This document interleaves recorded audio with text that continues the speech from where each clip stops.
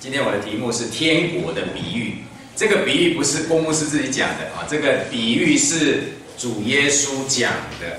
所以我们一起来看马太福音二十五章。马太福音二十五章，我们一起读第一节到十三节。在这一段经文里面，主耶稣用十个童女来做天国的比喻。好，如果翻开的话，呃，请弟兄姐妹读第一节单数节，我读双数节。好，第一节。那那时，天国好比十个童女。拿着灯出去迎接新郎，其中有五个是愚拙的，五个是聪明的。愚拙的拿着灯却不预备油，聪明的拿着灯又预备油在器皿里。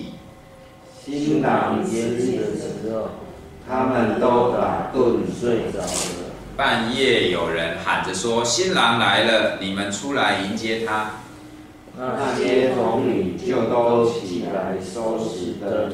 愚拙的对聪明的说：“请分点油给我们，因为我们的灯要灭了。”聪明的回答说：“恐怕不够你我用的，不如你们自己到卖油的那里去买吧。”他们去买的时候，新郎到了，那预备好了的同他进去坐席，门就关了。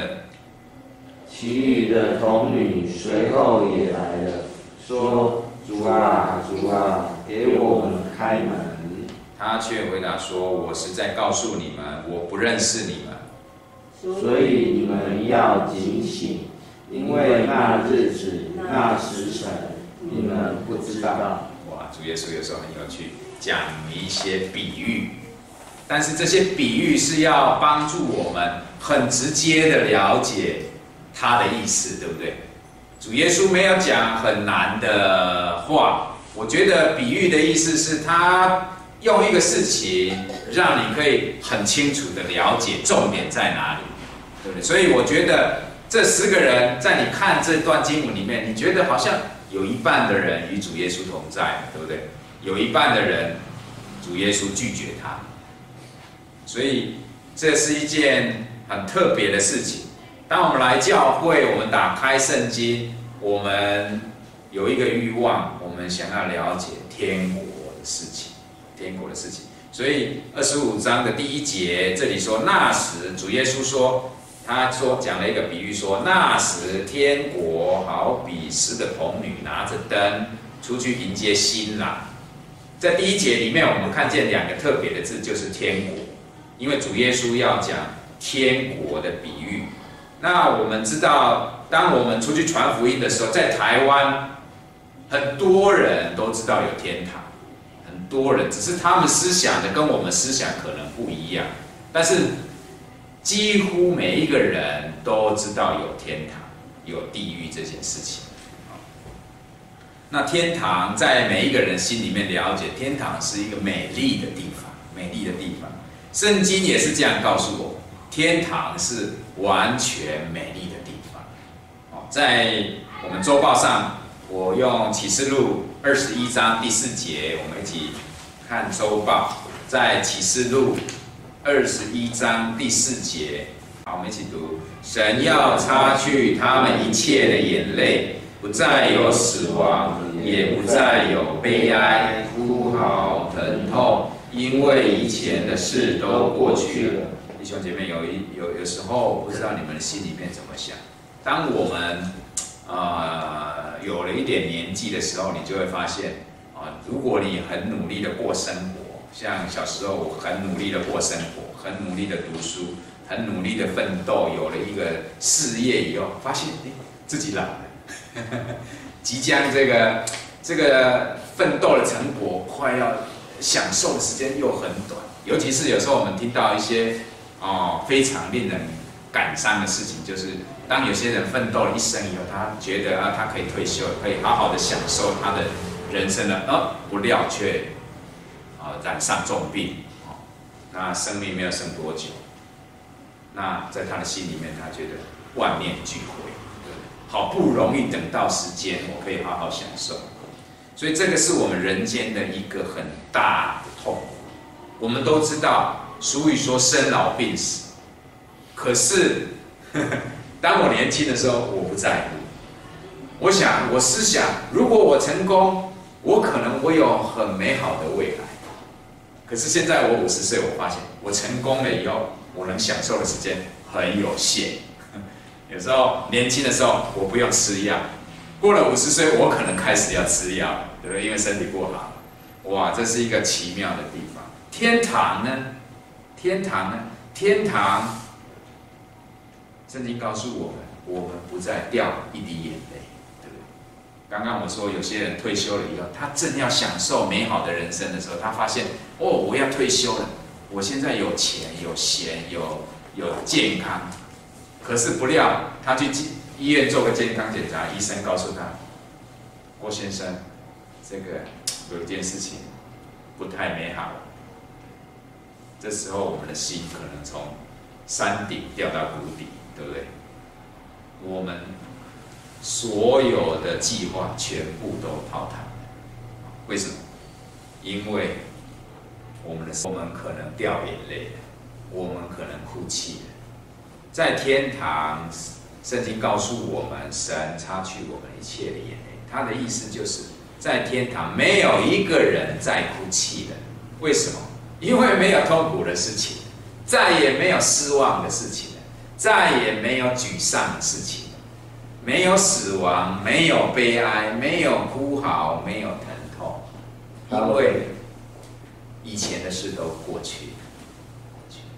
所以圣经告诉我们，天堂是完全美丽的地方。任何一个有聪明、有智慧的人都知道，我不希望我做的东西突然到明天全部没有了，对不对？现在这个世界可能会发生在我们身上。可是圣经告诉我们在天堂不再有这样情况，为什么？因为神在那里，神保护了一切的东西，并且当我们读启示录二十一章、二十二章的时候，你可以看见天堂的荣美，就好像我们看见这个世界，我们看见我们的墙壁是哦很漂亮，可是是水泥的，在天堂新天新地，神告诉我们将来新天新地。墙是黄金做的，我们外面的路是柏柏油路，可是圣经告诉我们，在新天新地，我们的路是金金做的。金金的意思代表最好的黄金，我们现在能想到，对不对？我们现在能想到最好的黄金，天堂的道路上，它是用黄金纯金铺设的，哦，很难想象。可是我们心里面明白一件事情：天堂是完全美丽的地方。圣经告诉我们，天天堂有各样的宝石，它不是拿来做买卖，它是做我们的围墙。哦，这个好特别啊！你看我们的围墙是铁皮，在天堂我们的围墙是十二样各样的宝石。这个宝石在我们人间都是非常珍贵。都是非常珍贵，并且是二十二章启示录二十二章。如果你喜欢看天堂，你可以在家里面看二十二章。二十二章告诉我们，天堂有生命的水流出来。如果你口渴，你可以喝水，干净的，不用用 RO，对，你都可以马上喝，不用再煮了，没有细菌。河的两旁长满了生命树，树上还结了果子。每个月都有果子，这是神告诉我们，让我们可以理解，在天堂神供应我们一切的需要，并且那个环境美好，就好像现在出了太阳，在你心里面看到这个环境的时候，你说哇，好美好！天堂比这个地方更加的美好，更加的美好。另外，在基督徒的心里面了解，天国还有另外一件事情。在我们还没有踏进神为我们做这个新天新地之前，上帝为我们预备了一个基督的国。这个国我们叫做千禧年，有一千年的时间。现在台湾我们是一百一十二年，对不对？基督的国，它要从一数到一千年，哇，很长，很长，哇，这个这个这个我们称为啊千禧年国度，这个是一千年太平的时代。在我四十岁的时候，我心里面非常开心，因为我觉得哇，这个时代真的是太美好，太平。在我十年前，很少人讲到战争的，没有乌俄战争，没有以巴战争。这个时候，大家哦很好，大家赚钱，世界和平，你要到每一个地方旅游都没有问题。基督的国告诉我们，在那个时候比这个时候更好，更好。我们来看经文，圣经告诉我们在以赛亚书六十五章十七到二十五节，我们一起读。我截录了一些，好，我们一起读。我必因耶路撒冷欢喜，因我的百姓快乐，其中必不再听见哭泣的声音和哀嚎的声音，其中必没有数日夭亡的婴孩，也没有寿数不满的老者，因为百岁时的能算孩童，有百岁时的罪人算被咒诅，豺狼必与羊羔同食。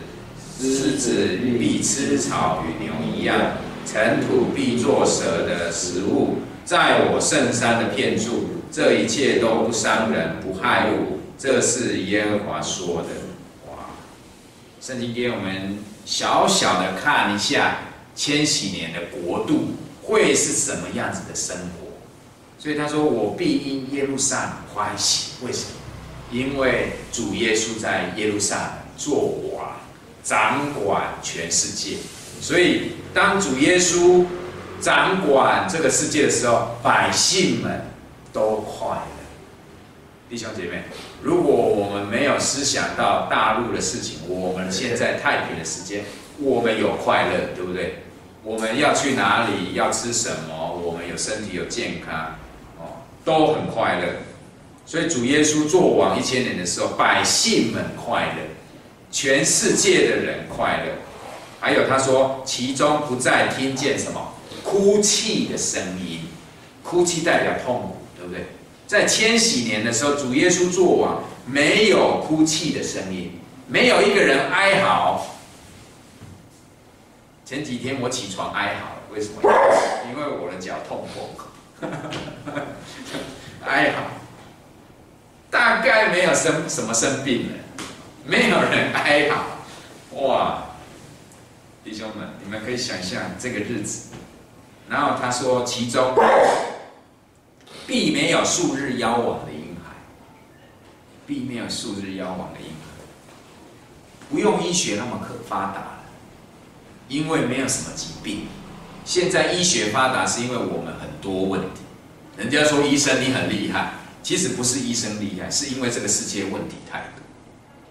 当主耶稣做王的时候，世界的问题没有那么多了这是一个小小的天堂，我们也可以说这个是一个天国，因为主耶稣做王在这个地上，所以他说没有寿数不满的老者，因为一百岁时，人家都说啊，好可惜啊，像婴儿一样，像小孩子一样，哦，所以表示什么？长寿，动物界也都改变。动物界也都改变，所以他说豺狼哦不再那么可怕了，狮子也不再那么可怕了，哇！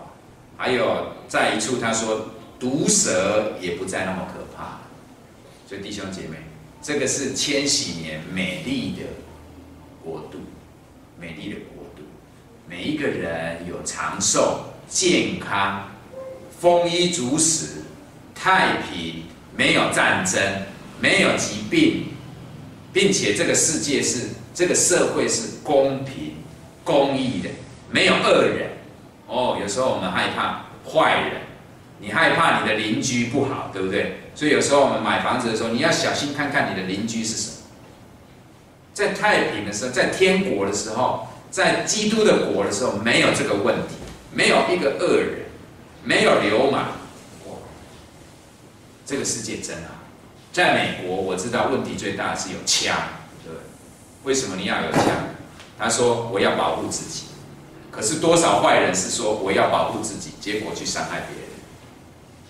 在神的国没有这样的事情出现，这是因为在人的国，我们有这样的事情。所以有些人他可能会问牧师说：“牧师，你也想太多了吧？我们现在的日子不也很好？我们现在的日子是太平的，太平的日子。就像我说的，这十年来，我觉得真的非常好。我们也丰衣足食，对不对？我们也想要吃各样的美食都有。我们要去哪一国旅游，就可以去哪一国旅游。就像刚刚梁弟兄告诉我，他的他的亲友去日本旅游一样，你想要去哪里旅游都可以，因为现在科技发达，交通方便，还有我们在家里面，现在人都很开很高很高兴很开心，就是有网络，有山西产品，对不对？小的大的都有，不管你在外面旅游，在家里面也可以旅游，也可以享受各样的事情。所以很多人会想说，为什么我们要想天国呢？在这个世界上，在这个时代，我发现了，当我拜访人、拜访新的朋友、拜访老的朋友的时候，他们大概都一样，很少思想天国的事情，很少思想天国的事情，因为他们觉得，为什么思想那么遥远的事情呢？我们现在是可以吃得到。看得到、摸得到，我们应该尽情的享受在这个当下。要跑马拉松，嗯，有对不对？Google 一下什么时候很多人可以一起跑，对不对？你要旅游可以组团，要吃美食可以可以邀朋友，所以各样的活动，各样令我们觉得欢喜快乐的活动都有。为什么我们要一直思想天堂呢？这是现代的人觉得啊问题，没有必要。可是我们来看圣经怎么告诉我们，在传道书十一章第八节，我们一起读这一节经文：人活多年，就当快乐多年；然而也当想到黑暗的日子，因为这日子必多，所要来的都是虚空。牧师没有说我们不要快乐，我不是这个意思，我们应当快乐，对不对？我不希望每一个人每一天愁眉苦脸哦，天国还没来，天国还没来。神也不是要我们每一天都过着痛苦的日子，神要我们每一天都快乐。可是我们的心不是贪爱这个世界，所以圣经告诉我们，我们快乐是好的，可是你要注意，我们要想到将来是黑暗的日子。所以有时候我说，人的尽头是什么？地狱。我这是很可怕的事情。很多人说你不要告诉我这些事情，我不喜欢听。或者说你不要恐吓我，你不要吓我，以为我就会信主耶稣。不是不是这个意思。我只是说圣经告诉我们，圣经告诉我们人的未来是什么？不是光明的，而是黑暗的。人的未来是在地狱里面，所以传道书所罗门说：我们活着的时候吃喝快乐没有问题，可是你的头脑里面你要想，将来有黑暗的日子会来，而且这个日子一天吗？两天吗？一年吗？两年吗？不是，乃是永远。圣经告诉我们，天堂是永远的。可是地狱呢？地狱也是永远的，所以他说这个日子必多，而且是虚空，在地狱没有一个人欢喜快乐。现在我们欢喜快乐，可是当那一天来了，我们离开这个世界，进去的却是地狱的时候。每一天都是虚空的日子，弟兄姐妹，是不是可怕？我不希望那一天这样子来，我不希望那一天这样子。所以现在的人都没有思想到未来他可能进入地狱。圣经告诉我们，这是我们的路。我们直线往前的时候，就是到达地狱。所以刚刚我说，很多朋友还有现在很多人，他们不思想未来，只思想今天的生活、明天的生活。俗语有一句话说：“短视尽力。”他的意思就是，我们只看到眼前的，对不对？好处，忘记思想以后的事情。当我们训练孩子，我们不希望短视尽力。为什么？如果你今天让孩子都很快乐，你喜欢快乐，非常好，快乐，要不要学习？如果他不学习都快乐呢？你将知道，我的家。附近有一个孩子，他们刚搬来的时候才国小，每天很快乐。现在呢，抽烟吃槟榔，我很不快乐。他可能快乐，可是我很不快乐。我的心里面很难过，因为每次看到这样孩子，小时候很可爱，长大变很可恶，我的心里面就不快乐，很可惜，对不对？俗语说“短视近利”，我们应该思想到他的未来。神一样，神思想到我们的未来，所以他喜欢我们思想天国。所以主耶稣今天要讲的是天国的比喻。我们也有一个成语叫做未雨绸缪，对不对？有聪明、有智慧的人都知道，哦，我们应该未雨绸缪。圣经说，如果你不知道怎么未雨绸缪，去看蚂蚁，对？蚂蚁什么时候都在工作。这个是我们应该要预备我们的未来。那我们的未来是什么？当我们的人生到达尽头的时候，接下来新的生命我们该往哪里去呢？圣经告诉我们，只有两条路，一条是往地狱去，一条是往天堂去，并没有第三条路。所以聪明的人，他应该要为他的未来预备。就像这句成语说的，我们应该未雨绸缪，未雨绸缪。所以天堂、天国、神的国是非常重要的，因为未来的日子，如果你不在神的国，你在哪里？圣经说，你不在轮回。圣经说，你在地狱中，这是可怕，这真的是可怕。所以，就像刚刚我说的。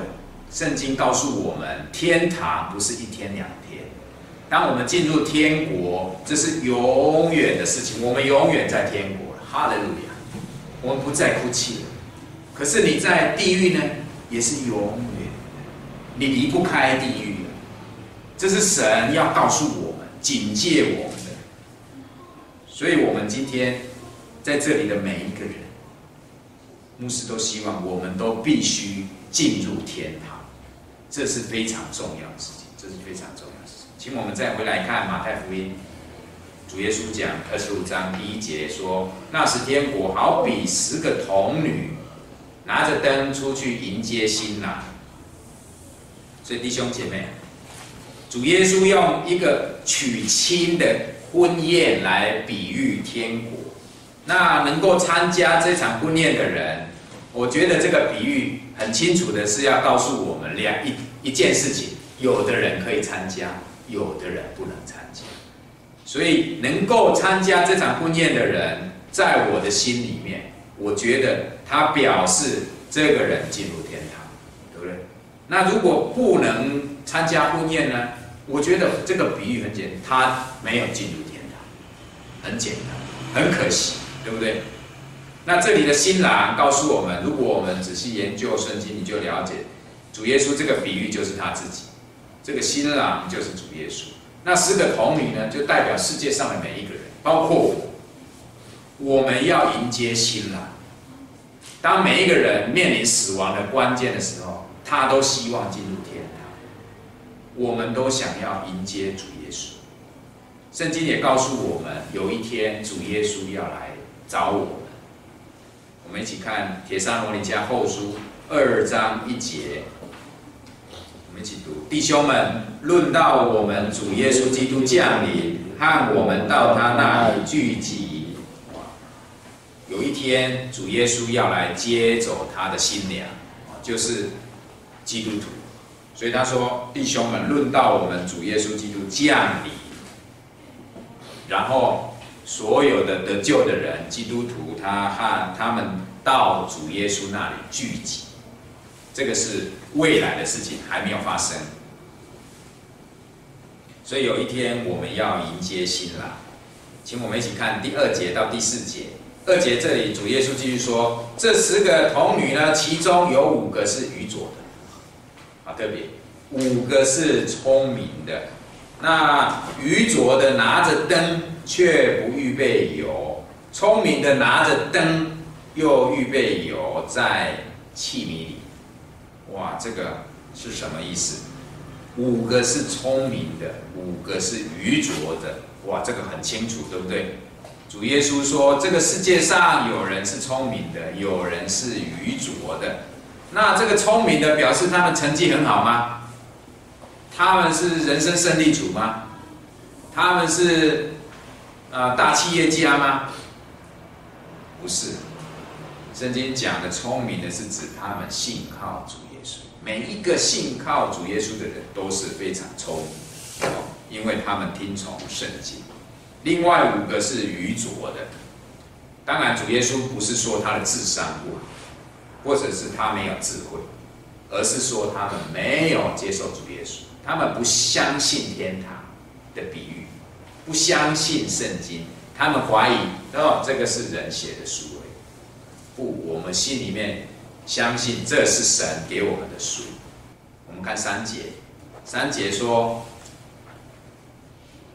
愚拙的拿着灯，却不预备油。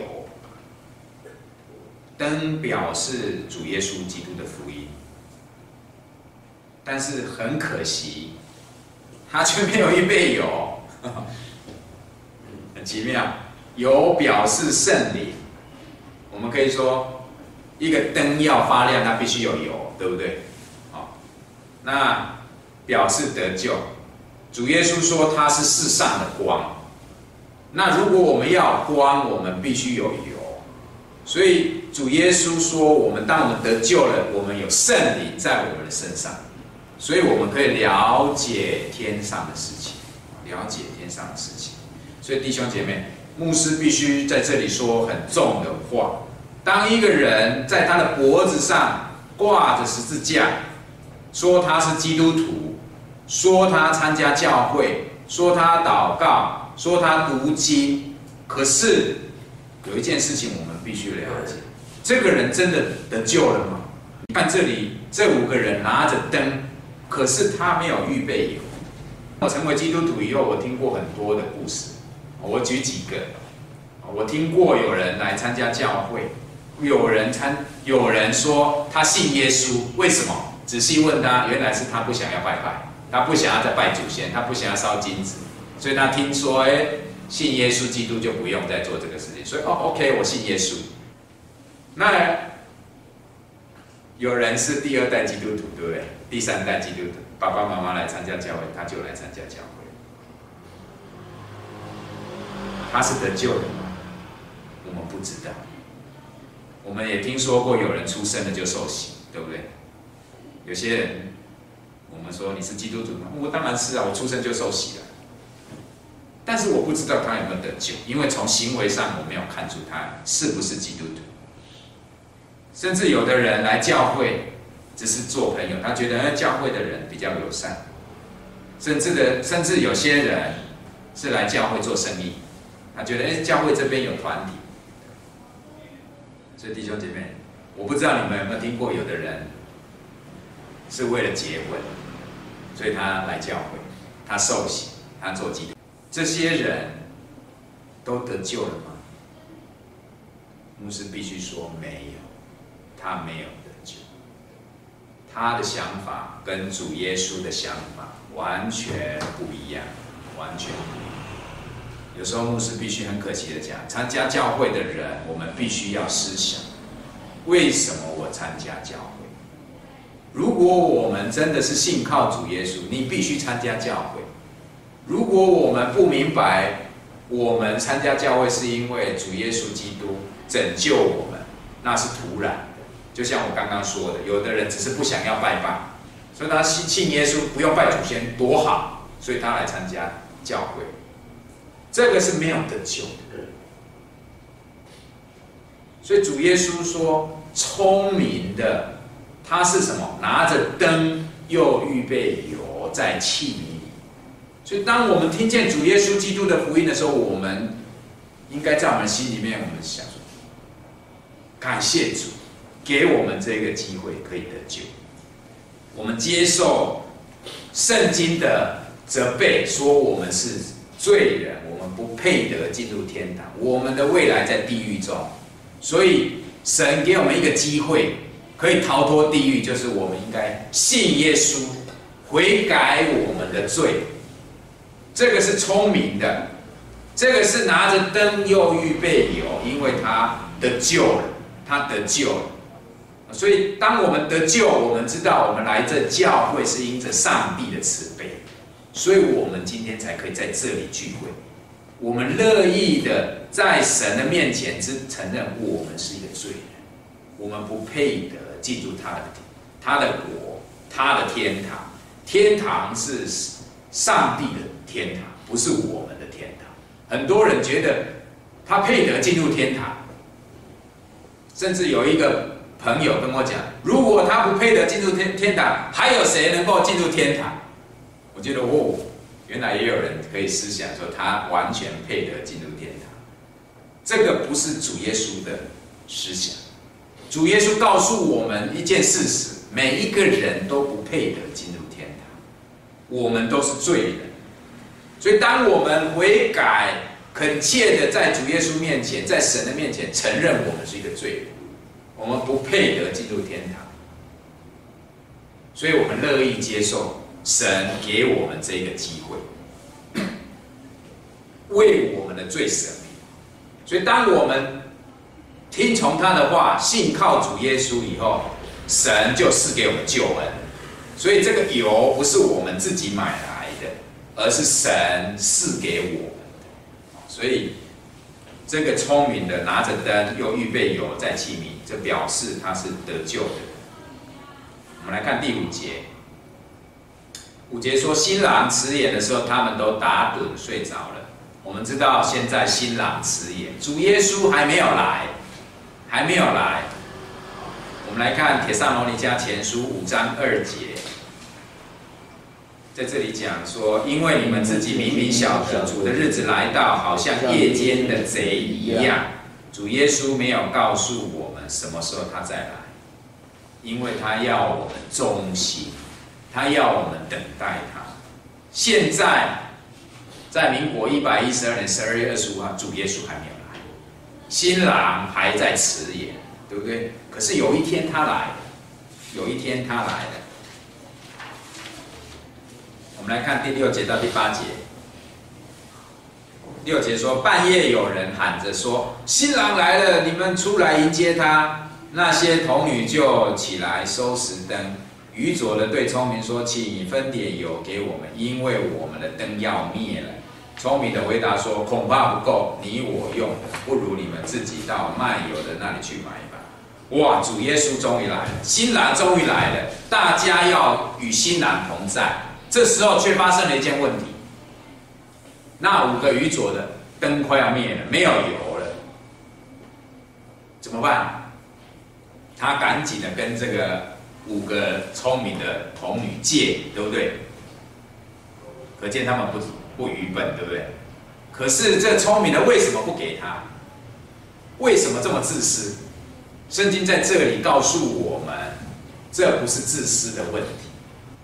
圣经告诉我们，得救是没有办法分享。就好像我们说，如果我得救了。我是基督徒，我的儿不代表我的儿子得救了，不代表我的女儿得救了，不代表我的孙子得救了，不代表我的老婆得救了，他们都必须自己得救，所以他没有办法分有给另外一个人，这是真的。所以当主耶稣再来的时候，得救的人就要升天与主同在，而且是永远的和主耶稣同在。这是圣经告诉我。请我们看周报上面贴上《罗尼迦前书》四章十六到十七节。因为主必亲自从天降临，有呼叫的声音和天使长的声音，又有神的号吹响。那在基督里死了的人必先复活，以后我们这活着还存留的人必和他们一同被提到云里，在空中与主相遇。这样我们就要与主永永远同在。哇，这是我们盼望的一个美好的世界。有一天主耶稣再来的时候，所有信靠他的基督徒都要被提到云里面，与主相遇，以后永远同在，永远同在。那剩下没有信靠主耶稣的人呢？圣经告诉我们，非基督徒将要被遗留在这个地上，这个地上将有战争。瘟疫、饥荒、各样的灾难、天灾人祸，地上将有七年的大灾难。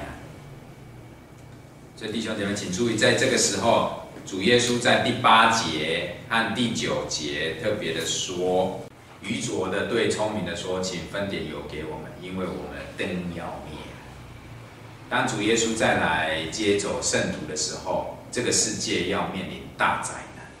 再也没有像我们现在太平的日子。可是九节聪明的回答说：“不行，这个得救是没有办法分享的，你必须得自己信靠耶稣。可是现在我在信靠耶稣来得及吗？”我们来看马太福音十六章二十七节：“人只要在他父的荣耀里，同着众天众使者降临。”那时候，他要照个人的行为报应个人。当人看见主耶稣的时候，主耶稣来是为了行审判，不是为了怜悯。所以他说，那时候他要照个人的行为报应个人。所以我们来看十节，他们去买的时候，新郎到了，那预备好的同新郎进去坐席。对不对？那门呢就关了。那其余没有预备有的童女，他们随后也来了，说：“主啊，主啊，给我们开门。”一些人与主耶稣同在，一些人却被关在门外。这时候主耶稣说什么？我们看十二节，主耶稣说：“我是在告诉你们，我不认识你们。”为什么主耶稣说话好像没有一点慈爱？马太福音十六章二十四节告诉我们，当主耶稣来的时候，他要按照个人的行为报应个人。所以等到我们见主耶稣的时候，我们悔改了，我们说我错了，我要信你。圣经说太迟了，太迟了，这是真的。你看这里十二节，他说什么？主耶稣说什么？我不认识你们，这是多么可怕的事情！当我们看到事实的时候，已经太迟了。很多孩子长大，他发现说：“我现在努力来得及吗？”太迟了。你能够三天把所有的过去都忘记的事情全部都把它补齐吗？太迟了。审判台就像联考的那一天一样，对不对？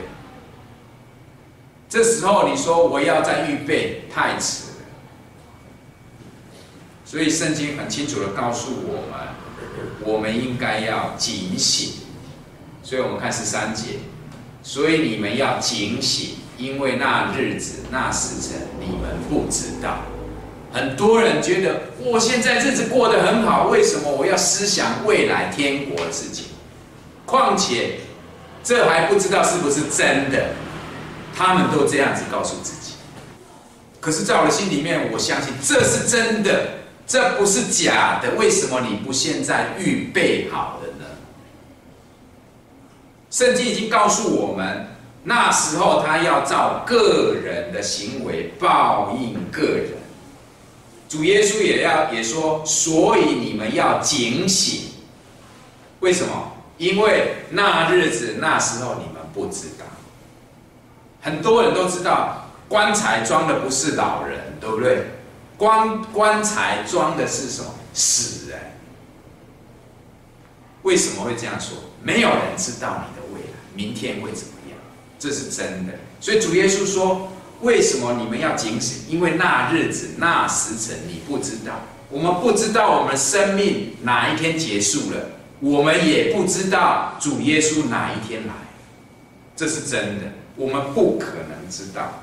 所以我们知道的是，我们有今天，我们可以把握今天。”这是聪明的。圣经说，我们应该警醒，把握时间。我们最后看一节经文，在哥林多后书第六章第二节，因为他说，在悦纳的时候，我应允了你；在拯救的日子，我搭救了你。看啊，现在正是悦纳的时候，现在正是拯救的日日子。弟兄姐妹，恩典是真正的。天堂、神的国都是真正的。今天我们讲的天国，不是只有给优秀的人才能进天国，不是给积功德的人才能进入天堂，不是给成功的企业家才能进入天堂，不是。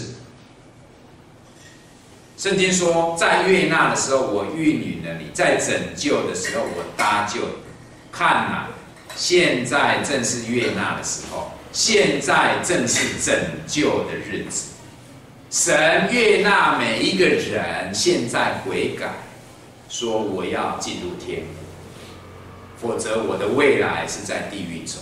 我决定了改变我的思想，我决定了在上帝的面前悔改，接受主耶稣做我个人的救主，因为我相信。